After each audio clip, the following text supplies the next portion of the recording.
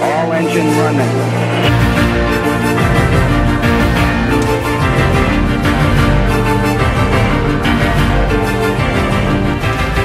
the guy the problem is you're on the phone with these great ideas. You make you got great statements you know. You sound deep but your life does not model anything you're talking about okay listen to me i want you to get that because that, maybe it was deep because you didn't respond the way i thought you was going to respond watch this you don't get out of life what you want you get out of life who you are Everybody wants. You think the guy that's driving around in a tricked out Ford Fusion, you think that was his dream car? Like he went to Ford, like let me get the tricked out Fusion. This is my. I've always wanted this, right? Right? That's not what. That's not the car he wanted. You think the guy that's living in the in, in, in the low housing income uh, area, that's where he wanted to live? No. When he passed the gated community, he wants to be there too right? They, the, but the guy who lives in the gated community, who drives the car he always wanted to drive, the difference between the two of them, that one of them says certain things, this is what I want, and the other one is what he says. He is what he says. He is the, the he, what the words that come out of his mouth and the lifestyle that he lives, the things that he do, they are congruent. Right? That's why some rappers like people like, how in the world is this rapper? Why, how's he doing what he's doing? Because he said that this is the lifestyle that he lived, right? You look at Jay-Z. Jay-Z said he did this, this, and this to get to this. And when people go back and look at his life, they're like, he did, he did that. Now there are other rappers, I won't say their names, but they got really released from the game because they claimed to live a certain lifestyle. They said they did this, and then when you did homework on them, you found out they were from the suburbs. This guy's like, I shoot, I kill, I, I was in jail, and then you do this homework, he was in prep school. It's like, whoa, what happened? Right? So listen to me, I'm gonna keep it 100. I, the reason why I'm so, people like, Eric, you're confident. Why do you have so much confidence? I have so much confidence because when I talk about what I'm going to talk about, I lived it. I lived it. What gives me the right that's what I tell all my young speakers who want to speak. I say this is the number one question you better ask yourself before you do what I do. What gives you the right to address that crowd? What gives you the right? Not if you're talented, if you can speak. What gives you the right to stand before successful people? You want to speak in the NBA. What gives you the right to talk to an athlete who represents 1% of all the athletes in the world? What gives you the right to talk to him? What gives you the right to talk to a four time NBA champion? What gives you the right?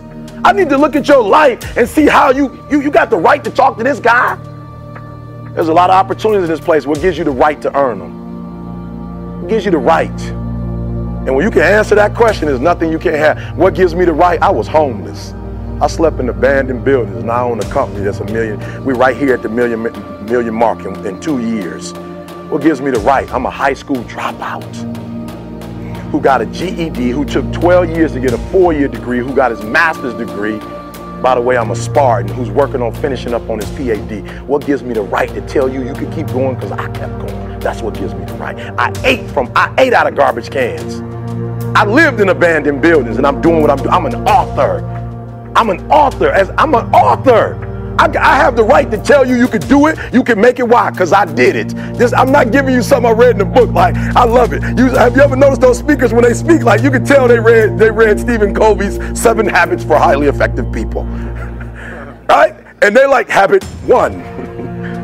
I'm like, you're not. How you? Gonna, that's Stephen Covey. Like he has the right. What do, what do I mean by right? Write this down. Sweat equity sweat equity. That means Stephen Covey has the right to tell me these seven habits because he's went through sweat, blood, and tears to come up with those seven habits.